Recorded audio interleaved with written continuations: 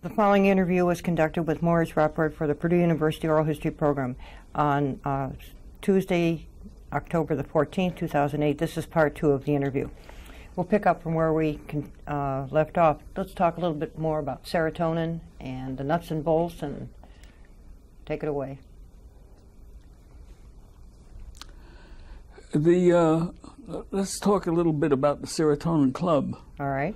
It, it had its initial meeting in uh, in Heron Island, in um, in Australia, in 1987. In 1988, there was a meeting, a second meeting of the Serotonin Club, in uh, in Las Vegas, and I was invited to that uh, by. Um, see, uh, afternoon I'm beginning to It's okay. forget names. Right.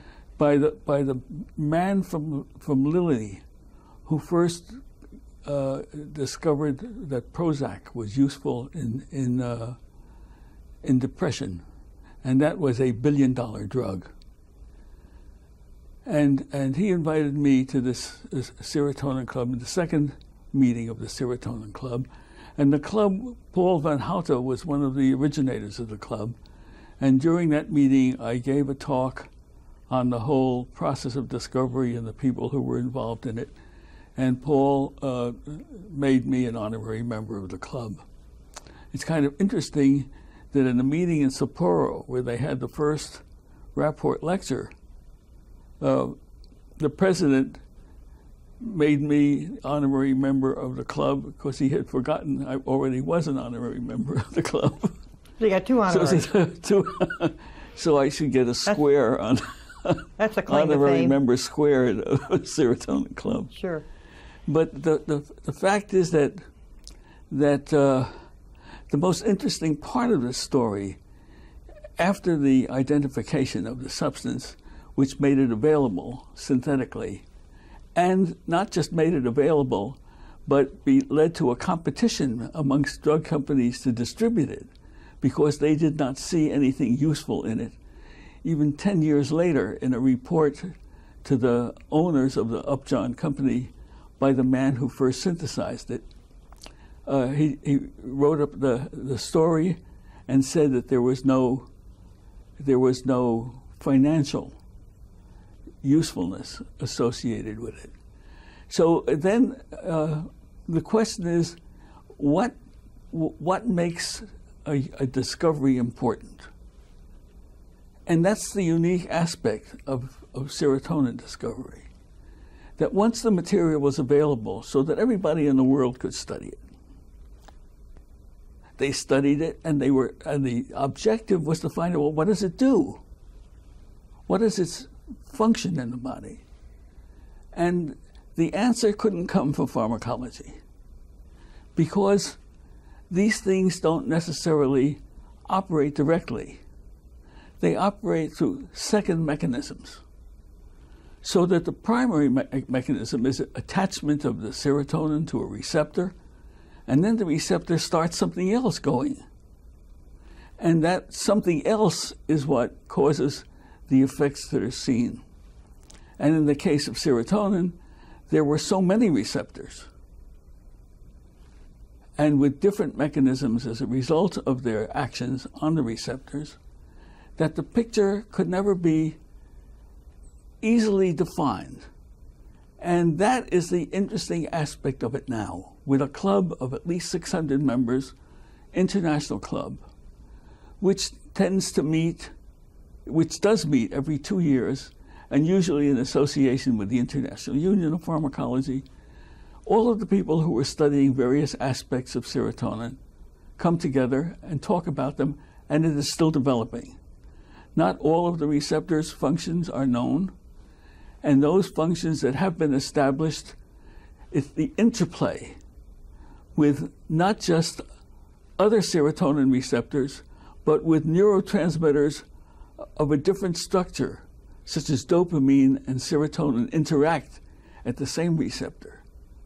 And so that this, this leads to uh, a more profound appreciation of the complexity of the functioning of the brain, so that we look forward in years ahead to many new discoveries.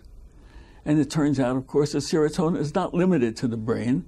It's, it's one of the discoverers of the, of, the, of the substance activity, pharmacological activity, was an Italian, Erspamer, who first discovered it from its histological uh, reaction in, in, in the GI tract and also in, in lower animals, in the posterior glands of the octopus, and, and it's even present in plants. I think in the skin of the banana. So nobody understands yet what the multiple roles of these neurotransmitters are. What we do know is that serotonin was one of the earliest of the neurotransmitters because its appearance is in one of the older parts of the brain, in the brain stem. And from there, it reaches out to all other parts of the brain. So it is associated with many other activities that are still not possible to clearly define. So that's the promise of the complexity of understanding an organ as complicated as the brain is. Mm-hmm. So it all starts with, with a seed, the seed being chemically defined structure, which makes the material available. Mm-hmm. And, and I expect that, uh, that for many years to come, this club is still getting larger and it involves many different countries. And with the, at the present time, of course, the major emphasis is on usefulness for drugs that interfere with the action of serotonin to alter behaviors that are considered abnormal. And of course, the original, the original association was because LSD was well, well known, and the structural analogy between serotonin and LSD immediately made a connection. And that, that connection, an attempt was made to exploit that in terms of all of the derangements in the brain that lead to mental disorders. They haven't panned out because the mental disorders are more complex than a simple association of disturbance of a single system. Mm-hmm. Even schizophrenia, it, it, to get a diagnosis of schizophrenia, you have 12 symptoms, and if you have six of them, then they give you a diagnosis. But all of these disorders are different or could be different because, of, as we now understand, none of the processes are simple processes. They're all chains of events. And the initiation of the events is through receptors, but then the, the events then start out a, a, further chain of reaction. All of these are being worked on at the present time. It's an ongoing. Yes, ongoing. Mm-hmm.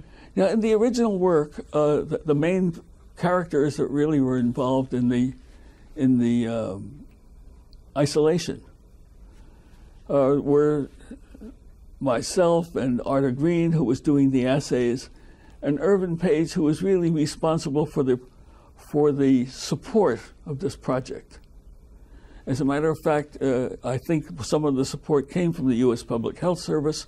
We had somebody who came around to look at the research that was going on, and he thought that our project was the most promising, although it had not gotten very far yet. And uh, after that, of course, everybody who was interested in pharmacology uh, may have been involved. I don't know, but uh, for example, some of the material that was left, Page let me keep some of the material which I was then able to uh, define the, uh, the chemistry of. But I had left material with him to do pharmacology. He didn't do that. I learned through the grapevine that he turned it over to the chemist who replaced me, and that person couldn't get anywhere with it. And then eventually, I think that that uh, the Abbott company approached him. Uh, they were interested in it because, and they started to work on it but that was after the Upjohn people had approached me and had already started to work on it even before they approached me. They asked me how they could help, and I subsequently learned that they were already working on the synthesis.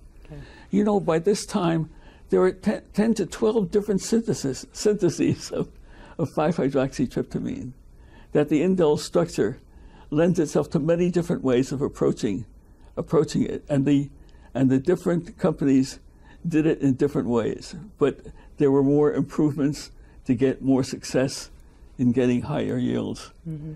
And so then uh, in Italy was able to persuade Farmitalia to make it, and they tried to promote it as a drug for uh, for assistance in blood clotting.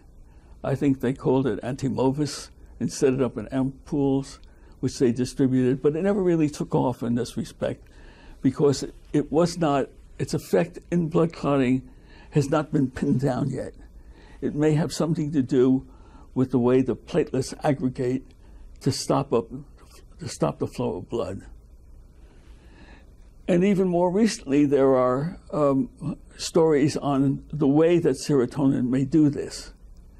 Now, a very interesting paper that was called to my attention recently, where the way that serotonin works in the brain is still far from under, under, understanding.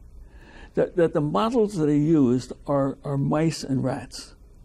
In the case of mice, you can now use molecular pharmacological techniques to block the, the, the, bio, the biochemical synthesis of the material. For example, the first step in the biosynthesis from tryptophan is to put, that's an amino acid, is to put a hydroxy group uh, onto the ring, and it's called tryptophan hydroxylase.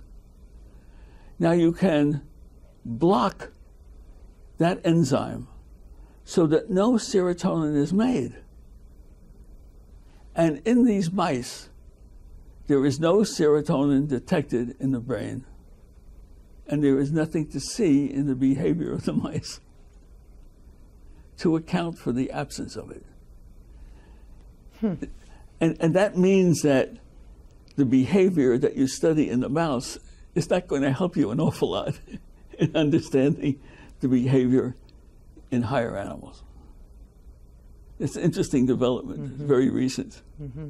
So people will be working with that. And actually, there were there were two. There's a there's a tryptophan hydroxylase one, which is present in the brain. There's a tryptophan hydroxylase two, which is used to make serotonin in other parts of the body, okay. mainly in the gastrointestinal tract. Okay. So this is a, a, I mention that because it says that in many cases the models that are available to study the function of these substances are still not adequate to deal with what we're trying to learn. On the uh, question further on the serotonin club, where, what disciplines uh, are they all in chemistry or in primarily sciences in the pharma- They're primarily pharmacologists. Okay. Working in drug companies, okay. or or associated with support from drug companies, but essentially working on. That's a large group, six hundred. Yes, it's a large group, and and that's six hundred members. Right. Not not not all of the people who are working on it. It's, sure it's a membership a little more than 600. Uh, but, but when they come together at these meetings, they touch on many different areas. And one of the most important ones is the one that, uh, that Dave is interested in, which is psychedelics. And, and of course, the initial structural determination here immediately made a connection to psychedelics. And, and the psychedelics at that time were thought to be a clue to the functioning of the whole brain. There are limitations on that. I believe that the psychedelics create um, uh, visual, visual disturbances, uh, visual hallucinations, whereas the schizophrenia, I think, is more an auditory hallucinations. So that the difference between visual and, and auditory represents different parts of the brain and how these things are turned on. Mm-hmm. I'm sure that uh, Dave has a more profound understanding of how complicated psychedelic function is. Mm-hmm. Okay, all right. Um, so you really have a com- it's a commitment you want it for researchers, it's a commitment to keep on with this. Your commitment is, has always been there, pretty strong, for the research in serotonin. Well, I was not able to continue it. I, I tried and, and was actually involved in, in uh, testing the effect of serotonin infusions. But you know, there's a, a tumor called uh, a, a, um, I'm blocking on that, uh, which produces large amounts of serotonin. And the effect on the people that get this large amount of this tumor. In, in, from the tumor mm-hmm. is not very extensive. There are just a few symptoms. There's a flush. There's a uh, there's a, some amount of, of depression, some effect on the GI tract, but nothing that, is any kind of clue to administering serotonin itself. Because normally serotonin, of course, doesn't penetrate to the brain as, as, as, as an amine. Tryptophan gets into the brain, but, not, but the amines do not. They're blocked by the blood-brain barrier. But in, in case of these of this of this particular uh, uh, uh tumor, uh, there aren't too many cases of it, but it was it was uh, uh, at least an opportunity to study uh, humans that had large amounts of this material in their blood. Uh, so all of these represented individual studies that were thought to be useful clues to the function of serotonin. But at the present time, what we have more is a sophistication with respect to how to look for functions. Okay. Okay. Um, one one thing that I read, the, you said the ro- or about the role of serotonin in everything. Is that? Well, that's an exaggeration, but let's say clar- if clarify you, that.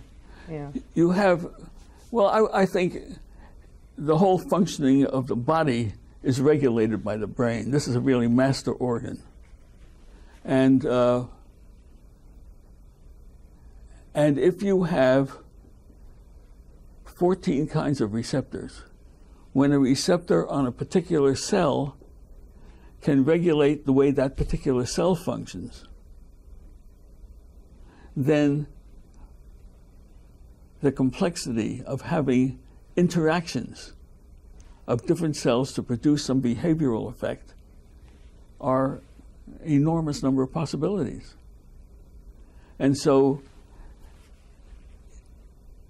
against the background of that complexity, the need is for finding ways of getting more specific interactions between substances that will interfere with, with the processes. Because basically, you study function by interfering with some process and seeing what the effect is. And so the objective is now in the realm of chemistry to develop more complicated molecules and administer them and, and see what behavioral changes can be observed. But the question of behavioral observed it changes in what? You can't use the mouse anymore for this purpose. So the question is, what what models are really available for studying function? Any comment, further comment on that about models? Any further comment on that? Think. Well, the models, unfortunately, are human and and I think that the, the real problem the real problem is that uh, that everybody's different. Of the human population, it's very hard to make generalizations about anything because uh, we all look different. we all have these changes that have occurred over time, and so getting a, a, a generalization with respect to the effect of some drug on some process is, is somewhere on a curve, and the question, what's the shape of the curve? Right, is it something with a sharp shape, in which case there are very few people being involved in it, or is it a very broad curve, which you have more people that are uh, can be con- uh, uh, connected to this particular observation? And I think th- it's one of the biggest problems we have of, of testing drugs in a in an aging population, to try to get things that, that really work uh, specifically enough not to cause side effects that are harmful. All right. Okay. Let's talk. Just make a couple comments on um, what is uh, the effect on the uh, neuroscience, on the fields of neuroscience and neuropsychopharmacology. Any comment on that? The serotonin effect research. Well, neuroscience is is, is a, the largest field of investigation other than cancer at the present time, because neuroscience governs everything that's going on in the body. And, and this, this organ, when you think of, of the different parts of the body, of the muscles and the different, that regulate different parts of the body, they're all put together in the brain in these different segments of the brain. And so that neuroscience is a huge field that covers everything. So the Society for Neuroscience involves all of the subdivisions pharmacology, physiology, uh, chemistry, biochemistry, go you on and on, mention any field, it has relevance to neuroscience right. to some degree. Right, okay. what about the neuropsychopharmacology? Any comment on that?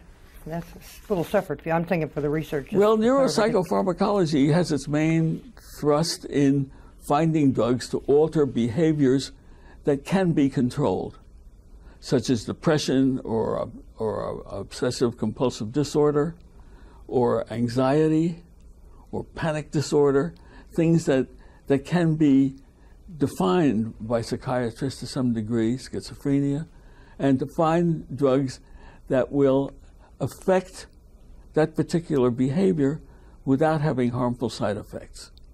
Okay. So that's the main focus from the standpoint of neuropharmacology. Drugs that are useful in dealing with mental disorders, because mental disorders have been the hardest to deal with over time. Nobody knew how to deal with people who don't behave properly, and it's still a big problem in our society of how what do you do with people uh, whose function has been interfered with so that they no longer serve a useful purpose. That's the, the, the line uh, uh, that, that, that separates people who can still function, even with mental disorders. A lot of us have depression, but can still function. Even people with schizophrenia, some of them can still function to some degree. And those whose, who, whose disorder is so prominent that it interferes with their ability to function. Okay, okay. good point. All right. Um, that's what I've got. Let's talk a little about how about some awards and honors. You going to share some of those that you've received over time? Yes. Good. They are fairly limited, but are at the time rewarding, and uh,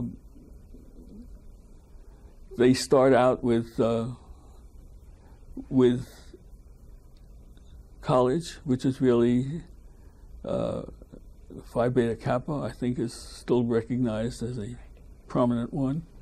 And, and in graduate school, Sigma Xi is still considered a prominent one.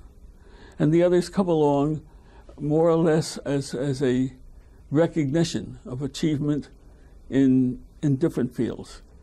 Uh, one of the mistakes I made was to move uh, from to different fields because the recognition you need comes from perseverance in a single field.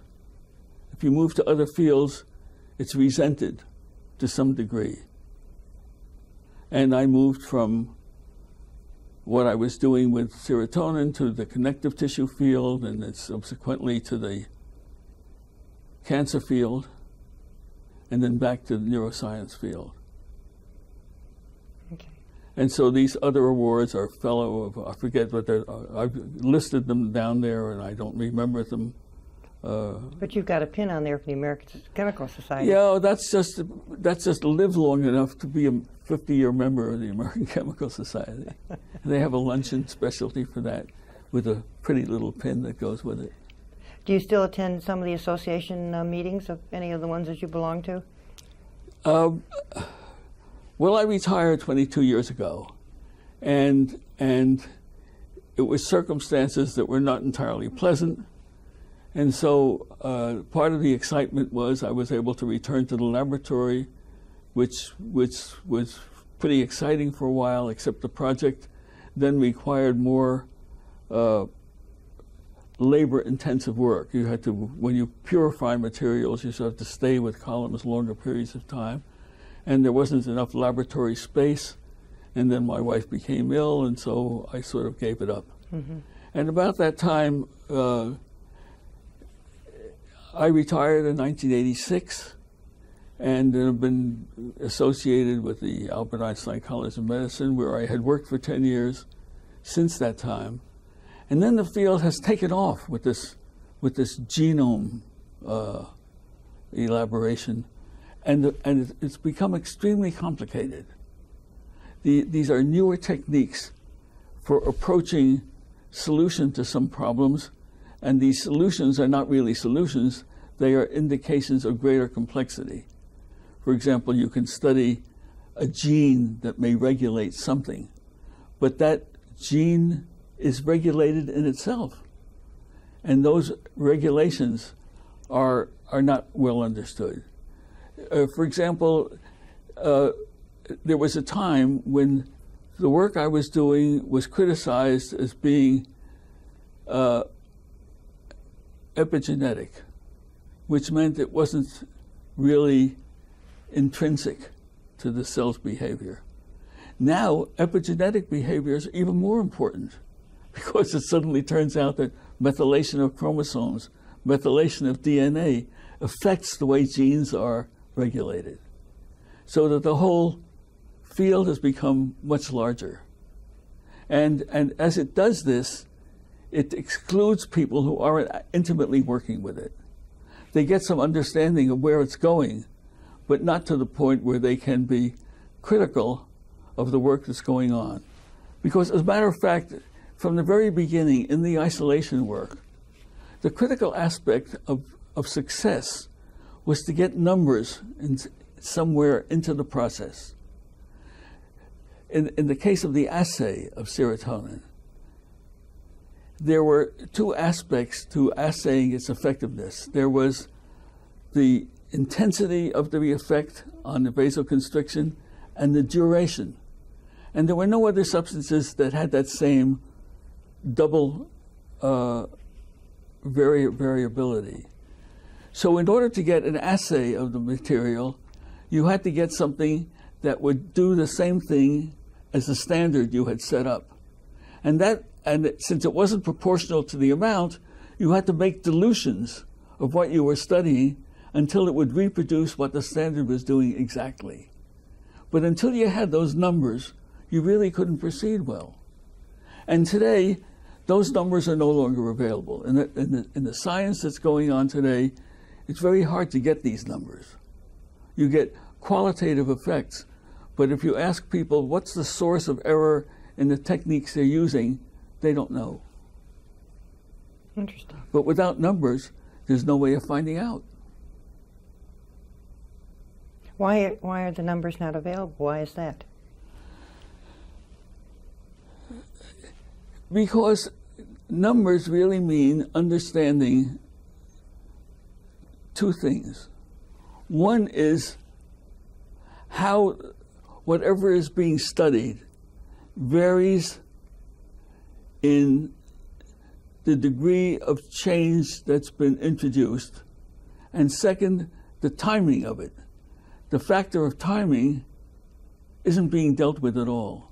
Okay. But the processes in the body are very much dependent on timing. The whole development, some things are, are occur within very short periods of time and other longer periods of time. But to study time effects is much more elaborate and extensive study to, to develop that kind of information. And in the hurry to get things done, there's no time to do them that well. Okay, I see. That clarifies it very. Tell us a little bit about family. Um, you know, your family that you have, your children, and Tell us about that. Well, as a matter of fact, uh, I, I, I attribute the birth of my daughter to my success in the isolation of serotonin. Okay. And and uh, We can put that under awards and honors and I then would some. I would say that's my major award and honor. And and uh, my daughter will be 60 in December. My son just turned 55, Okay. and they are very fine citizens. What do the, each of them do? What careers do they have? Uh, my daughter is a psychotherapist, and uh, she got me involved with something. You know, she used to go to, when she was going to uh, City College. She was involved in what's called um, sensitivity training, and she could never describe what it was. And when I got this position at the Psychiatric Institute, she insisted that I go for this kind of training that was available in a more conservative form under the auspices of the National Educational Alliance, I believe. And so I thought I was too old. I was 50 years old. So she got me connected with somebody who said, "No, you're not too old." So I went. I went Uh, and un- undertook this experience for a two-week period, and it was one of the most exciting times of my life. Hmm. you learn something about behavior that is essential in doing any kind of work. And I looked back on it and found out that one of my difficulties all along in my work was that I missed the whole socialization process that comes as you grow up through childhood and teenage experiences where you learn to deal with people. And I missed all of that because of difficulties in my family and the way my mother uh, excluded me from some kinds of activities. So, learning about them subsequently, mainly through my work in science, has been one of the more exciting aspects Sounds good. of what I've learned. Good. Very good. That's good to hear. And what does your son? What does your son do? Well, my my, my son is, I think, is, is, is su- superbly trained. He is, he he wanted to get involved with um, with transportation planning. He got a, he got a uh, he got a, a a scholarship to Berkeley, and learned there that you can't do transportation planning without a civil engineering degree. So he got involved in urban planning and persuaded to, to Berkeley to give him a combined degree in urban planning and something else. And then I think I talked him into it, although he doesn't agree to that, to go to law school because I thought law school would be useful no matter what field you go into today. And he eventually got a, a job with the city attorney in Oakland and worked there for four years. And during that time, the Oakland Athletics, that's the baseball team, wanted to leave the city. And he thought that would be a disaster, so he wrote a 13 page letter, and they read it.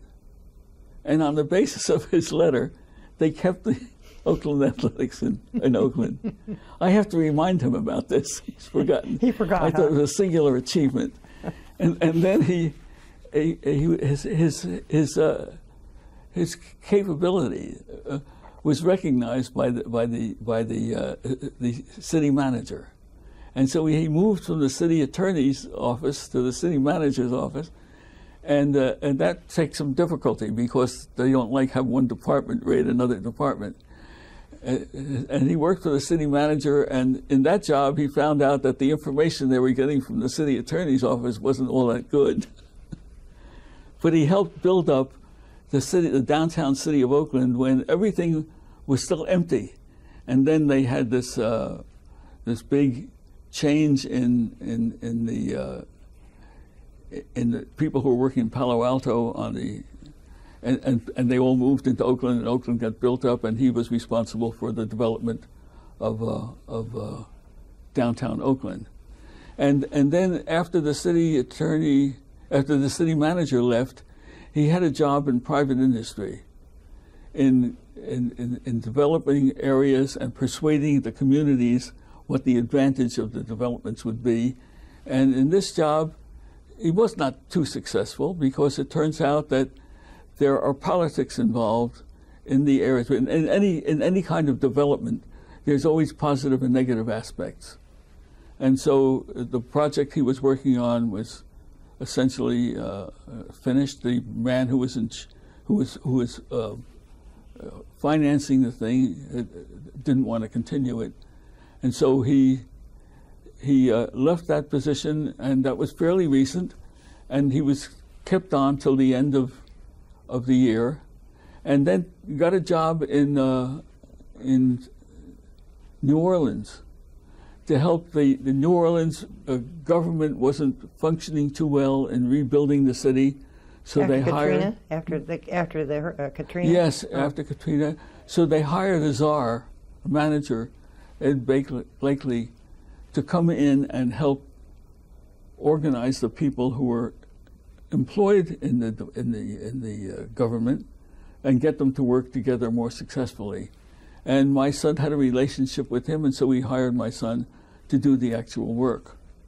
So he worked at that for uh, almost a year, and then his wife was he is, is a, German wanted to go back to Germany uh, permanently, and she did that uh, last year, and and uh, it didn't work out.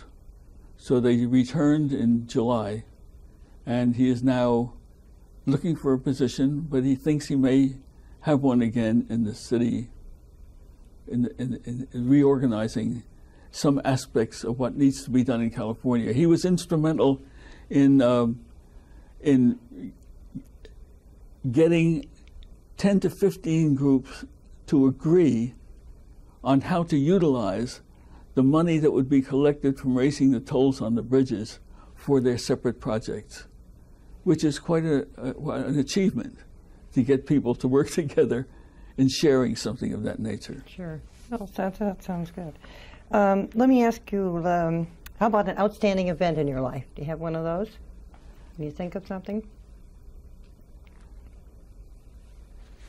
Well, the outstanding event in my life, I still goes back to this, the uh, March the first, nineteen forty-eight, when I sent that sample over to Switzerland for analysis the, that is the crystals, the crystal uh, structure, the crystal serotonin creatinine sulfate.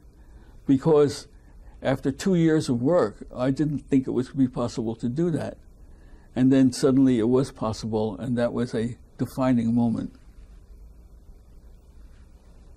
And, and as I say, it was, I have had a number of minor successes in my life up to that point uh, but nothing that was that substantial. And that was the first time I really felt I was capable of doing something important. Good. How about an out, uh, um, outstanding event? Uh, which that? How about do you have a favorite tradition? Favorite? Any particular tradition that you might? Some people think of something at school or whatever. Do you have a tradition? Not. Something special that comes to mind? Like no, I, I think I think that the satisfaction I got from from running the chemistry assistant uh, program in high school. Sounds good. That I, I think the satisfaction I get from helping people is, right. Is, is I still find very rewarding. That comes to my next question. On your retirement act, you share with researchers what you're doing in your post-retirement? Well, I, I, I have a medical history that says it's not going to I'm not going to last that long. I had a heart attack on my 59th birthday, and uh, and I have a number of ailments that are uh, fairly substantial that mean anytime anything goes wrong, uh, it'll be exaggerated by the other things that are going wrong. So I never made a real commitment to something new because I didn't think I'd be able to complete it. So I now represent what my daughter calls a uh, role model of survival. Sounds and, good. Sounds good. and and I was I was asked to come back. I, I, the two places I might have gone, but people who knew me at the Albert Einstein College of Medicine, one of the professors at the time, I was a professor there, was now chairman, and he invited me to come back. Oh, that's very nice. And that's so you continue that. That's what you're doing. And, And- uh, yes. Uh, in some closing remarks and comments, in summary, what would you like to share with the researchers as you look back and look ahead? What I what I try to tell people now, because the jobs that people get are really quite limited in what they can hope to accomplish. So I tell them we are governed by rewarding systems. There are external rewards and internal rewards. And the external rewards are undependable. So you have to find some way of cultivating some internal reward to compensate for the fact that the external rewards may not be as satisfying as you'd like them to be. And that's not an easy task. I agree. But it's still, if you think of it in those terms, it helps a great deal to find a way to develop the internal rewards. right. Agree. Very nice. Any other uh, comments before we close off the end of the interview? The other system, uh, the- the generalization I make has to do with kinetics. That that there are, and as a matter of fact, if they're related to the reward system. That reward systems um, are short order or longer order. Babies, for example, have no time discipline. They need to be get their reward immediately. And so, in terms of the reward systems, the time factor gets to be extremely important. And if you have the strength to deal with reward systems on a longer time period, that's a big advantage. Because I would say that in research, it's pretty frustrating work. Most of the things you try don't work. And so, that how do you continue going? And uh, of course, this, the the success I've had in science has been the result of long term rewards that have compensated for the long term frustrations associated with non rewards. Yeah. And you can deal with personalities the same way. There are people that are more kinetic than others. Some people are slower to deal with, some people faster to deal with. And until you appreciate the kinetic pattern in individu- individuals, you don't understand how to deal with the difficulties that sometimes arise between you. Very good. I want to thank you very much. This has been very helpful, and I know researchers will benefit very much by this. Thank you. This ends the interview.